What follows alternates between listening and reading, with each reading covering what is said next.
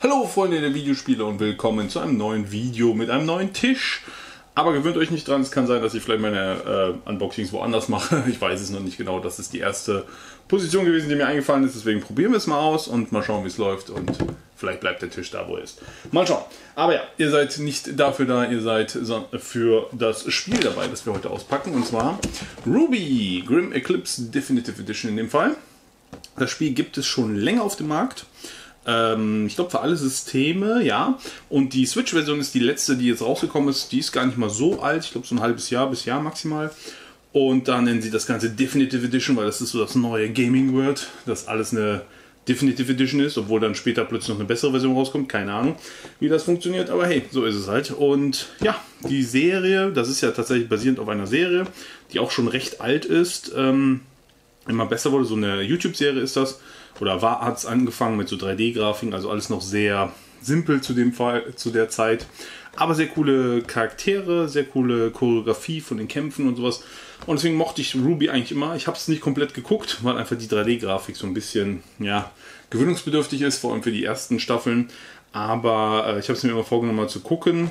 Vielleicht kriege ich irgendwann mal die Zeit zusammen, weil die Folgen sind noch nicht lang. Manche sind nur 10 Minuten, manche sind nur 8 Minuten oder so. Die werden dann immer länger. Aber es soll auch ein Anime kommen. Deswegen mal gucken. Vielleicht gucke ich mir den Anime an. Äh, ja, wie gesagt, das Spiel rausgekommen. Limited Run Games hat eine Collected Edition rausgebracht, beziehungsweise eine physische, weil das Spiel gibt es nur digital überall. Dann haben sie auch eine physische, äh, ja, eine physische rausgebracht, wie es Limited Run Games immer macht. Und hier gab es halt eine äh, Collected Edition, beziehungsweise Limited Edition.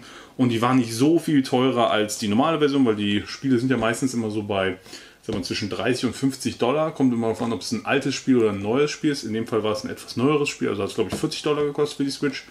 Und ich glaube, die Edition hat 70 oder 80 Dollar gekostet, also nicht viel mehr. Und ja, ich fand die eigentlich ganz nett, weil ich Ruby eigentlich, wie gesagt, ganz cool finde. Hier sind mir ein paar Screenshots. Bei der Switch-Version sind, glaube ich, auch ein paar Special-Sachen dabei. Ich glaube, diese neuen Kostüme, die die haben, äh, ich glaube, die Battle Suits oder so nennen sie das, äh, sind exklusiv, glaube ich. Ich bin mir nicht hundertprozentig sicher, weil ich habe das Spiel für Xbox, die Digitalversion. Und ähm, ich hole hier in der Zeit mal alles raus. Und äh, da habe ich dann mal in den Store nochmal geguckt, was es da gibt. Und da gibt es halt ganz viele DLCs natürlich. Äh, mit Kostümen und auch Charaktere und sowas. Aber diese Power Suits oder auf jeden Fall diese Art von Kostüm habe ich da nicht gesehen bei der Xbox-Version. Vielleicht gibt es die mittlerweile. Vielleicht sind die erst später gekommen. Das kann ich euch leider nicht sagen. Aber äh, derzeit habe ich sie nicht gesehen im Store und ich glaube nicht, dass die noch irgendwie im Nachhinein kommen. Oder ich habe sie auch übersehen, vielleicht waren sie in einem Paket dabei. Da gab es halt so ähm, Sommer-Outfits, Akademie-Outfits und sowas. Und vielleicht war eins von diesen Outfit-Paketen, vielleicht waren da diese Kostüme dabei, weil das Cover auch komplett anders aussieht als bei der Xbox-Version zum Beispiel. Wenn man sich da die Digital-Version anguckt, auch von der PlayStation-Version, da haben die andere Kostüme an. Und hier sieht man ganz klar, haben sie diese, ich glaube, Power-Suits oder Adult-Suits, keine Ahnung. Auf jeden Fall kriegen die halt irgendwie die Suits und auf den Screenshot sehen wir alle, dass sie nicht ihre Standard-Outfits haben, sondern diese Outfits hier es das Standard-Outfit ist. Ich habe das Spiel noch, also ich habe das Spiel auf der Xbox gespielt, aber diese Version habe ich nicht gespielt. Ich weiß nicht, ob da mehr noch anders ist, außer als dass es hier ein paar mehr Kostüme gibt. Hier sind natürlich alle DLCs dabei, Definitive Edition. Und was hier immer cool ist, sind bei Limited Games halt immer die Anleitungen. Und hier sehen wir auch die Charaktere direkt auch schon mit dem neuen Outfit. Deswegen, also ich habe die Serie nicht so weit geguckt, dass die so ein Outfit plötzlich anhatten. Ich habe nur die erste oder vielleicht noch bis zur zweiten Staffel geguckt bis jetzt.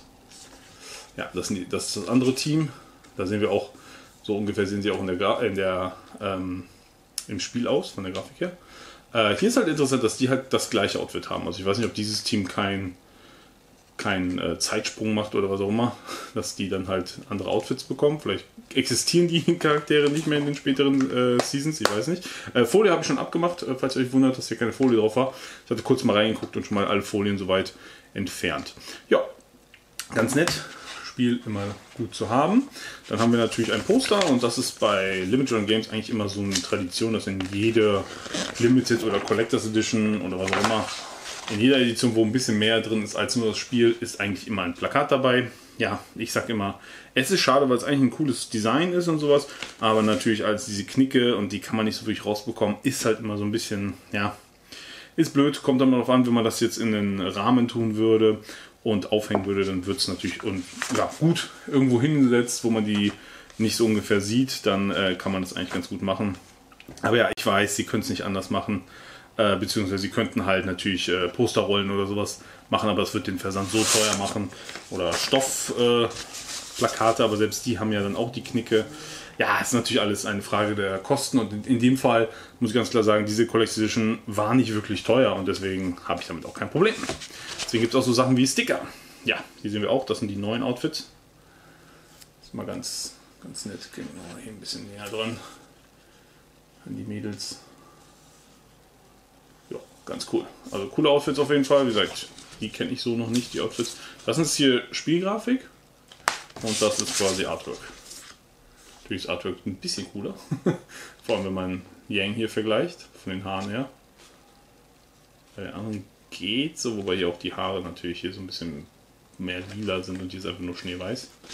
Aber ja, Sticker immer ganz nett. Äh, ich weiß nicht, was ihr von Stickern halt, könnt ihr mir gerne in die äh, Comics, äh, in die Comics, in die Comments schreiben. Ich bin immer so, ich finde Sticker eigentlich ganz nett, aber meistens sind die mir zu schade. Also ich habe echt so ein paar Sticker von Devil May Cry zum Beispiel oder von Monster Hunter, als ich in Japan war, habe ich mir die gekauft. Und die sind mir einfach zu schade, um die zu benutzen. das ist echt schade. Und äh, ich weiß nicht, also hier, gut, das sind jetzt keine Sticker, die ich jetzt unbedingt irgendwo wüsste, wo ich so aber mir sind die meistens zu schade. Gut, das sind jetzt hier nicht die besten Sticker, also es gibt bessere. So, machen wir die hier auf. Das sind Pins. Oh Gott. Oh mein Gott. Ja, doch, ich schaff's. Warum haben die die alle einzeln verpackt? Ja gut, damit die sie wahrscheinlich nicht zerkratzen. So, gucken. Oh ja. Das ist eine schöne Qualität. Ja, das sind gute Pins. Da bin ich auch so der ja, da weiß ich auch nicht, wohin damit, um ehrlich zu sein. Die sind mir auch meistens zu schade, weil wenn ich die jetzt irgendwie an meinen Rucksack mache oder so, weiß ich ganz genau, dass die kaputt gehen mit der Zeit. Und ja. Aber es ist äh, schöne Qualität, also hat auch so ein bisschen hier Textur. Finde ich sehr, sehr schön. Ich weiß, es gibt da so, aber ich habe mittlerweile auch schon recht viele Pins, dass es sich lohnen würde, so eine Pinwand mitzuholen. Es gibt ja diese halt einfach so aus Kork Sie aus Kork? Ja, ich glaube. So eine, so eine, wie so ein, ja, wie so ein kleines Bild, oder so ein Poster, um einfach alle seine Pins da drauf, anzu, äh, drauf zu hängen. Ist eigentlich gar eine so dumme Idee. Habe ich schon öfter mal gesehen bei anderen Menschen, die Pins haben. Aber normal kaufe ich ja eigentlich nicht so Pins. Meine Pins sind meistens immer in irgendwelchen Collect Editions dabei. Und äh, weiß nicht, ob ich die dann da rausnehmen will. Aber ja, schöne Pins auf jeden Fall von allen drei, äh, allen vieren in ihrem neuen Design. Also sie sind wirklich gut gemacht. Das sind wirklich Pins, die gefallen mir auch tatsächlich. Ob ich sie benutze, ist eine andere Frage. Und dann haben wir hier noch so einen Anhänger von Rubys Waffe. Das ist halt auch cool, dieses. Also, das hat mich damals zu der Serie gelockt. Äh, bevor die Serie rauskam, äh, hat der Macher, der leider verstorben ist, ähm, hat er so kleine kurze Teaser-Videos rausgebracht zu den äh, vier Hauptcharakteren. Und da hast du halt zum ersten Mal diese Waffe gesehen und das war halt eine Sense und am Anfang war es okay, dass sie halt mit der Sense kämpft, da haben sie auch ganz coole Choreografie. Aber irgendwann fängt sie an damit rumzuballern, weil das halt auch, wie man hier sieht, ein Gewehr ist. Wieder mein Fokus möchte wieder nach unten. Fokus bleibt oben. Na komm. Ja, mein Fokus ist nicht der beste, es tut mir leid. Also hier sieht man, dass das so ein Gewehr ist noch. Und das sieht halt schon cool aus, weil die die auch einklappen kann und sowas. Kann man auch im Spiel machen, äh, rumballern. Äh, weil jede Waffe halt so, so eine Fernkampffunktion äh, hat, sage ich mal. Aber das Hauptding von dieser Collector's Edition, was mich interessiert hat, war das hier. Und das ist eine Shadowbox, ja, Shadowbox Art nennen sie das Ganze. Ähm, die gibt es auch von anderen Spielen zu kaufen, tatsächlich, aber mehr von diesen Pixel-Spielen, weil die Firma, ich weiß nicht, ob es die Firma oder die Dinger heißen Pixel Frames, wie man hier sieht. Pixel Frames. Ähm, die machen für, boah, habt ihr vielleicht sogar mal in einem Saturn oder Mediamarkt gesehen? Das ist mir nämlich auch mal aufgefallen, dass es die auch im normalen Handel zu kaufen gibt. Von Super Mario, von Contra, von Castlevania oder sowas habe ich schon mal gesehen. Ähm, und ich meine, bei uns gibt es die auch in Deutschland. Habe ich die, glaube ich, mal gesehen. Und das ist halt einfach, ich meine, ja, es ist halt nichts Besonderes. Das ist hier Plexiglas, das ist kein echtes Glas. Und das ist halt theoretisch gesehen auch nur ein, sind das hier so Pappaufsteller, würde ich sagen, die halt da so ein bisschen in mehreren Ebenen aufgestellt werden. Aber es sieht cool aus. Also ich finde es ganz cool. Es gibt auch welche, glaube ich, bei... Ähm, also das ist exklusiv, gab es das nur bei Limited Run Games, so wie ich weiß. Ich habe mal geguckt auf der Seite, da gab es den nicht zu kaufen. Da gab es halt, wie gesagt, nur so Pixel-Sachen, weil die heißen halt Pixel Frames und das Spiel ist ganz klar kein Pixel-Spiel. Deswegen machen die eigentlich eher so ähm, Mega Man und sowas, so diese alten NES-Spiele.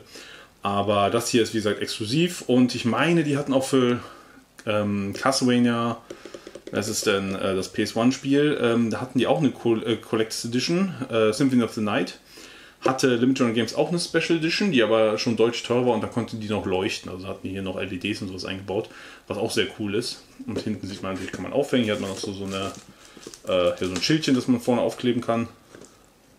Und ja, ich finde es ganz cool. Also ich werde mir das auf jeden Fall aufhängen. Das war halt der Grund. Und diese Dinger kosten halt auch so 25 bis 30 Euro, äh, wenn man die jetzt äh, in, in der, auf der Seite von denen kauft. Und bei Amazon gibt es, glaube ich, auch welche von diesen Dingern, habe ich, glaube ich, gesehen. Ich weiß nicht, ob das Importe sind oder ob es die auch hier in Deutschland zu kaufen gibt. Und ja, deswegen war das dann okay mit dem Spiel zusammen, dieses Ding, weil der Rest, ich meine, die Pins sind nett und alles, aber das ist eigentlich so das, was ich haben wollte. Und äh, ja, das ist eigentlich so das Hauptding. Ähm, wie gesagt, ist eine kleine Collector's Edition, aber vom Preis her fand ich sie vollkommen okay. Normalerweise kaufe ich mir nicht viele Limited Run Games Collector's Edition, um ganz ehrlich zu sein, weil ich finde immer, da ist dann so ein Steelbook dabei, was mich interessiert oder vielleicht ein Soundtrack, aber da ist halt so viel anderer Quatsch wie Sticker, Poster und sowas dabei, wo die natürlich den Preis erhöhen. Auch wenn das natürlich keine hohe Qualität ist und jetzt hier nicht viel Preis ist, aber trotzdem ähm, ist da manchmal, wenn man sich auch den Karton anguckt, der ist auch viel zu groß. Eigentlich den hätte man kleiner machen können. Äh, die Sachen sind da eigentlich nur reingeschmissen. Äh, Finde ich halt auch so ein bisschen, ja, blöd. War, ist bei manchen Collections schon einfach so. Aber ja, wie gesagt, ich kaufe die halt gerne, weil ich die unterstütze. Und halt gerne mal halt so ein paar Kleinigkeiten. Und sofern der Preis okay ist, kaufe ich, weil ich habe ja auch ein paar andere Collections, außer die von Streets of Rage gekauft, äh, die natürlich genial war, aber auch deutlich teurer, aber vom Preis her meiner Meinung nach vollkommen okay. Ähm, deswegen, ja, könnt ihr mir ja gerne in die Kommentare schreiben, was ihr von dieser Collection Edition haltet oder allgemein von äh, Limited Run Games Collector's Editions, ob ihr da auch welche euch kauft oder nicht. Wie, äh, wie immer mache ich alle Links in die Beschreibung, falls ihr Interesse habt und nicht wisst, wer Limited Run Games ist, dann gebe ich euch natürlich eine Verlinkung. Diese Version gibt es leider nicht. Ich persönlich würde sagen, mir gefällt sie. Aber ich würde jetzt nicht sagen, dass ihr da mehrere hundert Euro bezahlen müsst, nur um sie jetzt nachzukaufen, weil jetzt gibt es sie nicht mehr, ihr müsst sie bei Ebay kaufen und das würde ich auf gar keinen Fall empfehlen. Es sei denn, ihr seid ein großer Fan von der Serie, dann vielleicht, ja, weil das Spiel schon zu haben ist schon ganz cool. Jetzt auch für physisch, habe ich es zweimal, aber halt einmal für Xbox und einmal hierfür. Aber ja, das war's zu dieser Edition und wie immer bleibt mir nur zu sagen, vielen Dank fürs Zuschauen, ich hoffe, ihr hattet Spaß. Ein Like ist immer nett und wir sehen uns im nächsten Video. Danke und tschüss.